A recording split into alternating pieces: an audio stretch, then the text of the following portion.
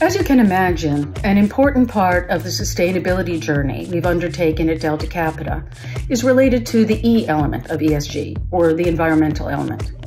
As a result, during April, in advance of Earth Day on April 22nd, we will be hosting a series of events across the globe that will help to educate you and engage you with the work that is happening here at Delta Capita, but also what we as individuals can do to drive a green agenda.